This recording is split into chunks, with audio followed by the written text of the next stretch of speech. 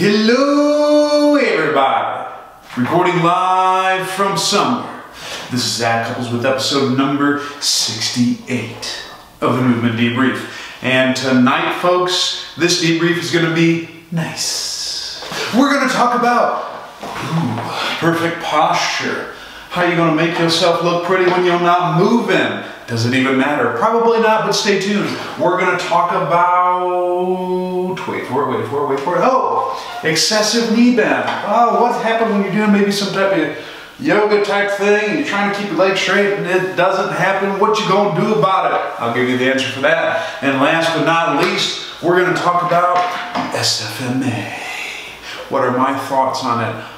Why don't I use it? I got no beef with it, but why don't I use it? I will answer all of those questions because these are questions that are asked from the people, answered for the people by this people. Fan recognized fan. Before I dive in, folks, do you have someone who is struggling, getting a push up just right? Maybe they're doing the turtle head kind of thing. Maybe they're doing the, oh, I gotta hit my belly there first. And despite your best coaching efforts, you don't know what to do about it because it doesn't change. Did you ever consider that maybe there is a movement limitation present that you just don't know how to address until now? Because December 8th and 9th in Charleston, South Carolina, Human Matrix is coming your way. It will also be in New Providence, New Jersey, February 2nd and 3rd, I think. Don't quote me on that. Man, I should know this down pat by now. It is February 2nd and 3rd, ooh, I didn't know it down pat. I will also be there to answer that very question. And if you only want part of me, but you want to join myself, Pat Davidson, and Seth Oberst to a grandioso seminar called The Revolution. You'll probably want to check that out February 9th and 10th, and that will be in Boston, Massachusetts. That is the set list in terms of my stuff this upcoming year. Got a few others in the books, but stay tuned. I will debrief you on those once I get more information. Without further ado, let's debrief, shall we? The first question comes from my boy Charlie Reed, a legend if you don't know him. Hey Zac, hope you're well, my brother. I am. I have a question for you regarding posture resources. Do you have any descriptive videos or articles that help clients understand that doing extension-based exercises are not always ideal? Namely, those that are motivated to improve their posture, but maybe need to understand how to better understand better how ribs slash respiration play in their ability to elongate without compressing their back line and spilling the guts out the front. Hate when that happens. Any help would be greatly appreciated. Charlie, I did not have a resource until now, so I'm going to answer your question. What is perfect posture? Eh, I hate this, but I think most conventional people would argue that there ought to be a straight line through your center of mass, which is about S, S3-ish, and it ought to go from about ooh, the mastoid process back, yeah, acromion process on the shoulder, down through the hips, a little bit behind the uh, ankle, I think. And ideally we should be able to stand in that position and look super duper pretty. Problem is no one is there. I think it's a bunch of baloney. I think posture and it doesn't really matter until it matters. What I think is more important, and this is where you have to educate people, Charlie, is we want to be able to assume multiple postures, positions, orientations, strategies, which is what I like to use. Because if I sit in perfect posture, whatever that means, chest up, shoulders back, however your mama taught you, you have no idea how many mothers I have to yell at on a regular basis. But if I'm here like this, and I don't move, tissues are going to get overloaded. If I'm uh, slouchy, you know, typing on the computer kind of thing, same thing. Tissues are going to get overloaded. Neither is desirable, or what is not desirable, I should say, is stagnation. We need options. That's what we have to educate our people on. When I am this, and I'm trying to get here, i.e., I'm slouchy and I'm trying to get up tall, ball till you fall, doing extension-based movements are not likely, are highly unlikely to get you there. And the reason why is because we're not accounting for things that would establish normal, normal, I'll use that in quotes, spinal curvature. If I just get everything upright, chest tall, shoulders back, that's going to keep the spine relatively flat. This is not cool because guess what, folks? The spine isn't normally supposed to be flat. Normal spinal mechanics would be get it to being curvy. You would have a cervical lordosis. That's a little bit excessive, but I'm excessive. You should have thoracic kyphosis, where it should be a little bit more flexed, maybe. You should have cervical, I said cervical lordosis, thoracic kyphosis, lumbar lordosis, and then a sacral kyphosis. How is only going in one direction, i.e. extension, going to get you that? Short answer, it's not. What will though is restoring your movement capabilities, your movement options, giving yourself multiple strategies. The way I advocate that is exactly what my man Charlie Reed is talking about, and that is breathing. When you breathe, your body has to assume all of those positions that we're trying to get with this perfect posture. When I take a breath air in, my thoracic spine ought to increase in kyphosis. My lumbar spine ought to reduce its lordosis. When I blow out, it should be the exact opposite. So if you only have one possible strategy and not another, you got problems, fam, and you probably look ugly. Or at least your posture is, is a joke, but whatever. Mine's kind of jokey joke maker anyways. What you have to do is restore those options that you lack. And maybe, maybe, maybe, that allows you to assume multiple postures and positions. It starts by making sure you can pressurize the thoracoabdominal pelvic cavity trademark effectively, and that means being able to bucket handle, being able to get some pump handle activity in the front of the rib cage, get some posterior thorax expansion, restore some movement down in the hips, making sure you can orient the, the pelvis as a whole, anteriorly and posteriorly. And if you do those things, you'll probably be able to assume as many postures as you so desire. The one place where it can be a little challenging, and if, if you need links on how to do that, I'll link something on the show notes to, to walk you through some options. for Thorax section. The one place where it might get a little tricky is if you have a structural impairment in your cranium. For example, if I am someone who has a type 2 malocclusion, which if you don't know what that is, I'll link that in the show notes as well. So talk about it. That's basically where the mandible is more retruded, i.e. you got an overbite.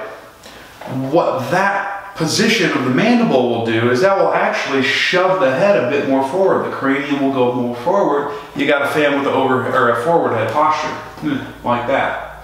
You can have the reverse, where if I got a type 3 malocclusion, I'm in more of a retracted position or military posture. And it may be that there is some type of structural issue that doesn't change with typical interventions that you may possess. And maybe you have to go see someone to get that taken care of, that meaning a dentist. And maybe a dentist would be able to manipulate some things with your cranial structure, with your jaw, and that can have an impact on posture. Something to consider. I would also argue that probably if you lack the ability to breathe through your nose, that could impact your posture. For example, if I can't breathe through my nose, that same person may assume a forward head posture because that opens up the oral airway a bit more. Jaw drops because the hyoid is depressed and you can get more air through your mouth. How are you going to fix that? I don't care what manual techniques, what Alexander technique you use, or what activities you use. If you have a structural issue up here, that is going to have a potential negative impact on your posture. So if you want to look pretty, you may have to get that checked out as well. My hope is over the next couple years, I will do the same for myself. And if you think I'm good looking now, just wait till I get my face fixed. Anyways, those would be the big things that I would consider Charlie in regards to posture, but more importantly, we want to make sure that our clients know that there is no one correct posture. What is correct is multiple movement options. Posture, not always associated with pain, unless being in that position for a prolonged period of time leads to pain. Another thing we want to make sure that our people know. If you want to fix your posture, restore your movement capabilities, make sure you can breathe because that is the probably the easiest way I've found to improve some of these limitations that we, we may have. And that's not just from a functional standpoint, but also potentially a structural standpoint. Extension is not going to cut it, Charlie, and the reason why it's not going to cut is because you're only going into one direction. Your spine is curved. If you do those things and you educate your people in that regard that it's not one correct posture, but there's many, you ought to be in business. Charlie, amazing question. Next question comes from my boy, my BA VA, a virtual assistant, and a uh, budding physiotherapist himself, Chris asks, my new friend from yoga class was wondering why her back knee keeps wanting to bend in the high lunge pose. I will link a picture of the high lunge pose. But basically, I'm not a yogi, so please bear with me. You're kind of in a split stance position. Your back leg's supposed to be straight, arms are going overhead. How embarrassing is it for me to show my shoulder flexion in front of you beautiful people? Anyways, her back knee keeps wanting to bend in the high lunge pose. I quickly mentioned the rectus femoris, but then I realized I wasn't as prepared for the question as I once was. My quick answer was essentially to suggest her practicing her pose with a little bit more posterior pelvic tilt on the back leg if she wants to be more in a straight line here. If she wants to be more straight here. Pros, cons to this adaptation? Is this something you'd like to deep dive into? Yes. Have you already? No. Keep crushing. Hashtag fam recognize fam. Chris, I recognize you. Great question. Why would someone bend their back leg? And it's not just with this pose. Maybe you got someone who's sprinting and they do the knee bend kind of trick, or walking. Anything where the hip has to be flexed on one side and extended on the other. That hip separation, which I debriefed about last week, and this is where it manifests itself again, is incredibly relevant. Let me get my femurs on.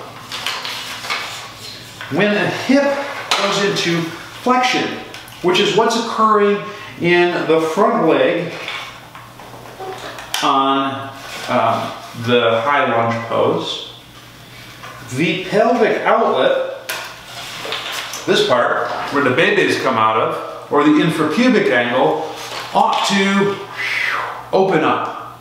So as I flex, pelvic outlet opens.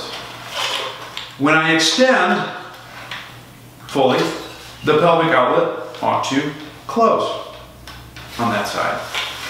In order to assume a pose such as the high lunge pose, you need to be able to open up the outlet on one side and close it on the other. Well, what happens if you get into that position and you can't do that action with your pelvis? When I go to extend the hip, uh-oh, wait a minute, I'm having a hard time opening or closing the pelvis, I don't know what to do. You bend, because you can't create that hip separation, you bend your knee to actually get a little bit of hip flexion to make the position easier. So you don't need that crazy hip separation. What you gonna do about it is probably the question you are asking me. I'm glad you asked. What you're gonna do about it is work simply on that. Working on maximally flexing one hip while maximally extending the other. What that ought to do is restore the dynamic capabilities in the pelvis and maybe, maybe, your yoga pose looks like, whoa, that's pretty good. That's what we're shooting for.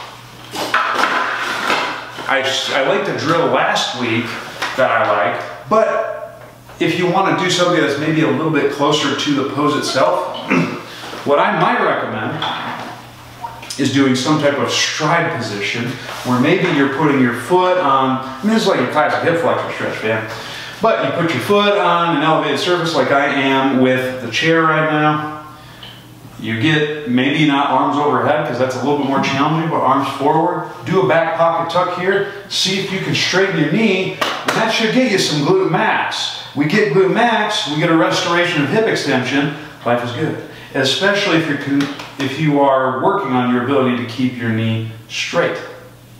You could progress that to something like a wall acceleration drill, another drill I've been using liberally that I love.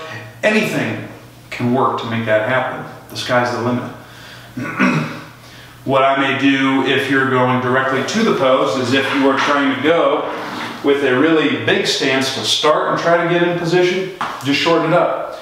Get a little bit of weight on your backside, back pocket tuck so you get gluteus maximus on the back leg. Try to keep the leg straight and then work on your forward lean.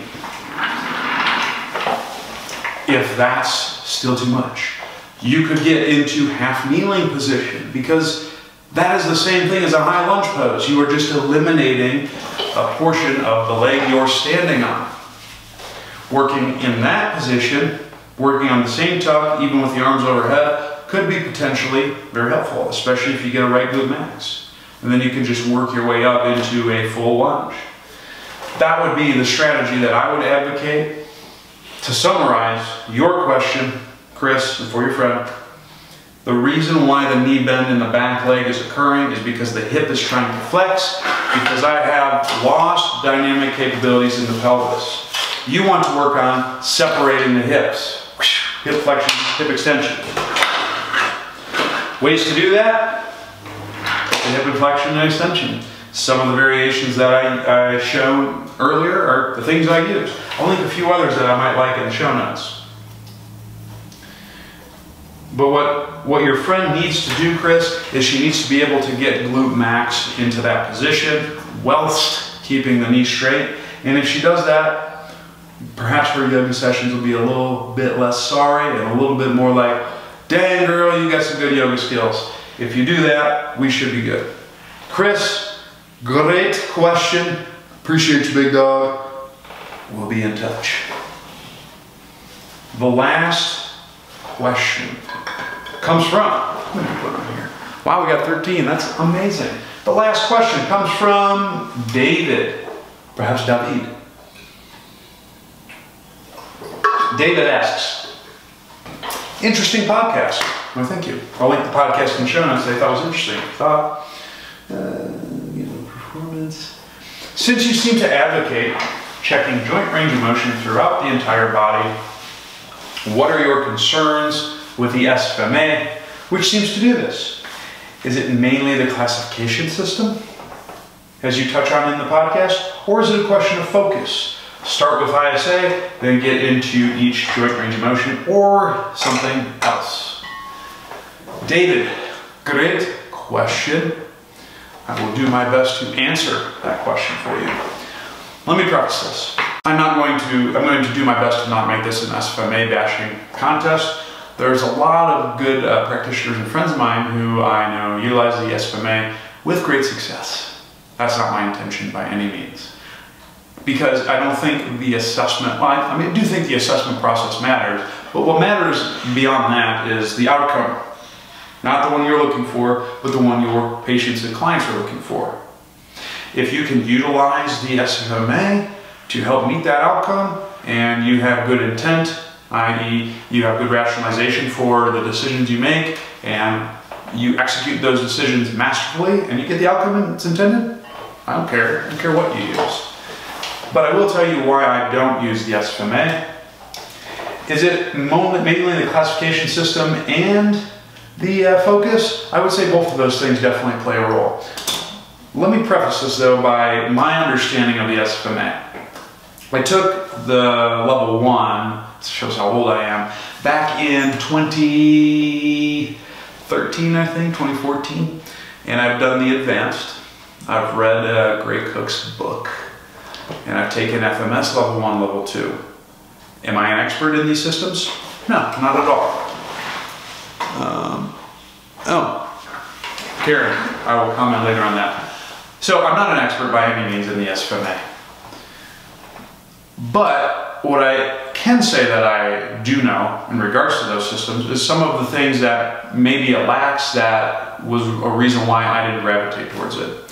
From an assessment process, one of the big things that I noticed was missing, aside from the ankle, and maybe this has changed because it has been a hot minute since I've taken it, is a lack of frontal plane measures.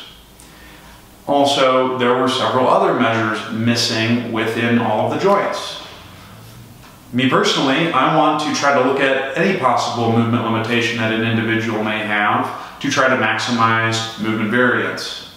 If you're missing an entire plane, you might not be hitting all of the movement capabilities that an individual may or may not have.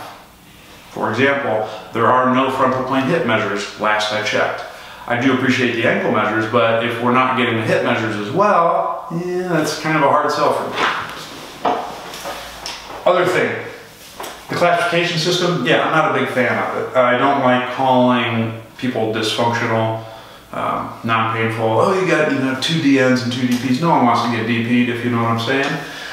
But I think that um, also in regards to the classification system, and I don't know if this is still true, so correct me if I'm wrong, but they they classify some of these limitations as either a tissue extensibility dysfunction, your TED, or a joint mobility dysfunction, a JMD. I think based on what we know from some of the contemporary manual therapy research, most of the changes, although some people might think otherwise, but a lot of the changes are probably neurophysiologic in origin. We're likely not able to change tissues if you have a legitimate joint mobility dysfunction, you're probably going to need to call a doctor because you got OA.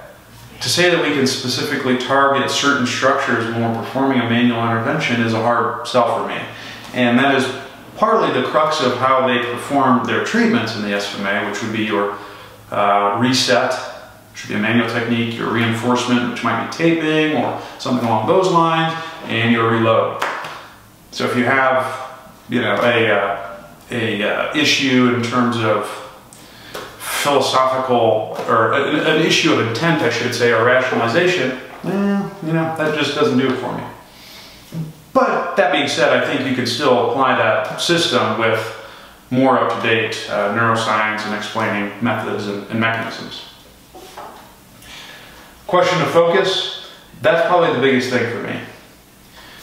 With the SFMA, a lot of times they'll look at a top tier movement and then try to break that movement down until you get to the lowest constituent that's limited and then hopefully you address that and you go back to the start.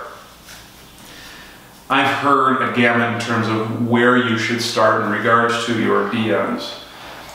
Some individuals I've heard start from the neck, work their way down. Some people it's like, well, you pick the one that's most egregious. It doesn't seem to be super clear. When I'm working with a patient, I want as much clarity as possible from a starting point. To me, it makes a lot more sense to start center and work our way outward, or as most proximal, work our way distally. Because I can work right here and I can address multiple of the things that may be a distal limitation. Whereas if you start distally, maybe you get a change, but you might be missing some proximal contributing factor that would be another reason why I would say that I don't use the, the SFMA. It has to do with order. I think it also has to do with a lack of looking at things from a pattern-based perspective.